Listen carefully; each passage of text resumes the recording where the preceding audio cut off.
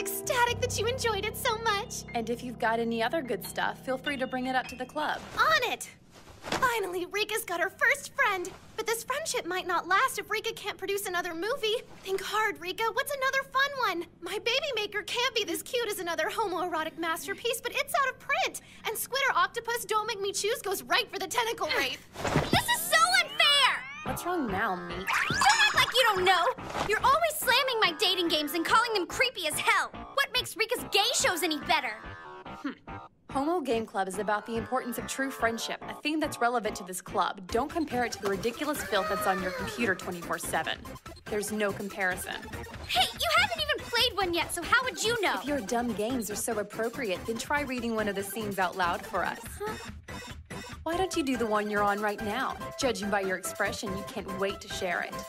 Um, this particular scene isn't the most accurate representation of the game. That doesn't matter. I could read any scene out of Homo Game Club out loud and it'd still seem normal. There's a lot more to it than just getting reamed in the forest.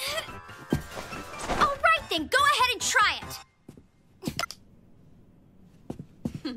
Oh, I remember this part. I'm ready. Hit play. No matter the cost, even if the entire world's against the two of us, I'll never stop protecting you, Fumio. You dummy, you know that's my line. There's nothing that we can't conquer as long as we have each other. That was the ending. Of course it sounds cool and dramatic. Let's try out a different scene. This one. Ain't no one gonna break my stride, and ain't no one gonna slow me down. I've got to keep on moving no matter what stands in my way. Ah, really?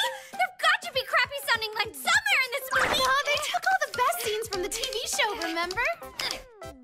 Don't ever be ashamed of who you really are inside. Everyone will have their doubters, but you can't let anyone else decide who you are. Oh, not another cool one! Who knew guys could be such smooth talkers? Don't Underestimate me, Sal. How did she already memorize the entire movie? Now then, I think I've proven my point well enough. Your turn. Let me hear a scene from one of your dating games. What's wrong, sandbags? If there's nothing to be ashamed of, then you've got nothing to be afraid of. The dialogue in this scene should do nicely, whenever you're ready. Go on. Do it. Now!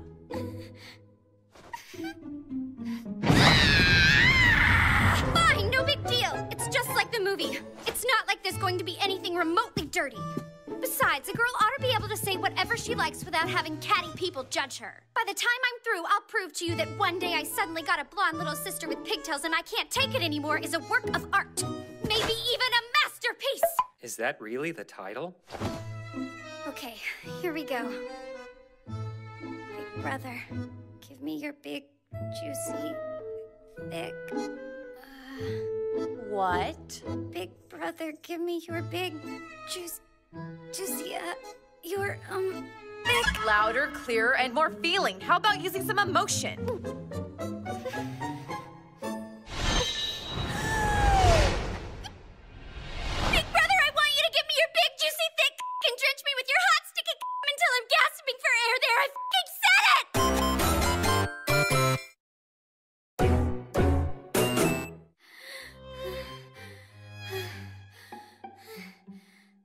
Wow, she really did it. Did you think you were going to win every single battle against me? Gotta hand it to you, Meat. I never thought you'd say that. Yeah, too bad. Don't underestimate me. More importantly, I uh, proved that my dating games aren't embarrassing at all. Oh, okay. I guess you kind of beat me this time. What? At least look at my face when you admit it. Rika's jealous that even her supercharged libido can't match up with yours. Hmm? That was impressive, Sena. I had no clue you were oozing with so much sexual energy. Yeah, no kidding. Who would have thought? I certainly have a better understanding of why your gaming habits are what they are. So I'm sorry for making fun of you.